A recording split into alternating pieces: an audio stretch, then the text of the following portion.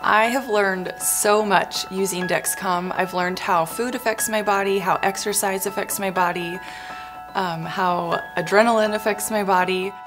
We use the alerts on the Dexcom and it beeps if our blood sugar is high and out of range or if it's low and out of range and it gives us a quicker response to treat high and low blood sugar and so we're able to respond much faster. The Dexcom G6 is a great tool for managing your diabetes, and I think it's extremely easy to use. There are no finger sticks. I'm gonna show you just how easy it is to get started with the Dexcom G6 app. Getting started is easy. There are just three steps. First, go through the app setup screens. Second, insert your sensor and attach your transmitter. And third, pair your transmitter and start the sensor two-hour warm-up. First, let's set up the app. Download the Dexcom G6 app. If you have the G5 app installed, delete it before installing the G6 app. Then log in. If you have created an account with Dexcom in the past, use that same username and password. If you have never created an account with Dexcom, create a Dexcom account. The app walks you through the entire setup process step by step. The first few screens provide information and videos. Watch these videos and read the information screens.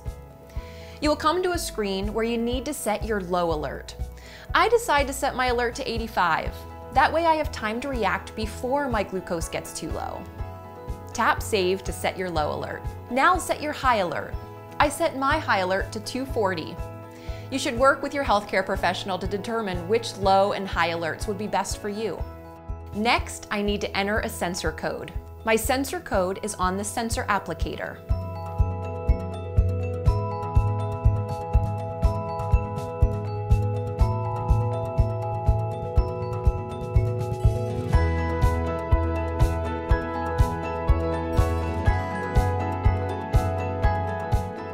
The next few screens walk you through connecting your transmitter to your smart device.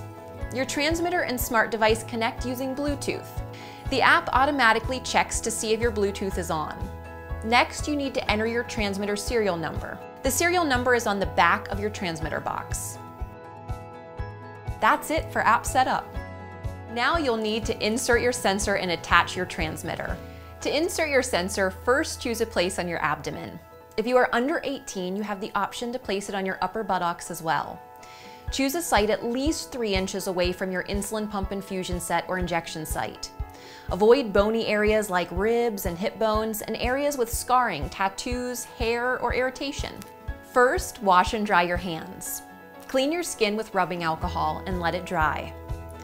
Grab the sensor you used during setup and remove both labels. Do not touch adhesive. Place the applicator on skin.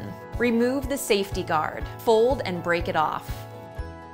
Press the button to insert sensor. Remove the applicator. You've successfully inserted your sensor. You'll wear each sensor for 10 days. Now it's time to attach your transmitter. Take your transmitter out of the box. Clean your transmitter with an alcohol wipe and let it dry. Insert the tab of the transmitter into the slot on the transmitter holder. Snap the transmitter firmly into place. Rub around the patch three times. You've successfully attached your transmitter. You'll reuse the same transmitter for three months. Once your transmitter is attached, you can swim, bathe, and shower like normal. Now it is time to pair your transmitter and start your sensor. Wait for your transmitter to pair, then tap the Start Sensor button. Now your sensor warm-up has begun. The warm-up will take two hours to complete. You will not receive alerts or readings during this two-hour sensor warm-up. After your two-hour warm-up, you get your first sensor glucose reading. See that number in the gray circle? That's an example of a sensor glucose in target range. It updates every five minutes. Over time, your graph fills in. When you go below your low alert setting, the app alerts you and the circle turns red. When you go above your high alert setting, the app alerts you and the circle turns yellow. The urgent low soon alert will alert you when your glucose is falling fast and you will be at 55 in less than 20 minutes. This gives you time to take action to prevent a low. This is your urgent low alarm. This alarm will alert if you go below 55. You cannot change, turn off, or silence this alarm. Your glucose is always changing. This is why the trend arrow is important. It shows where your glucose is heading and how fast it's moving. Arrows help you avoid being low or high by taking action before you are already too low or too high.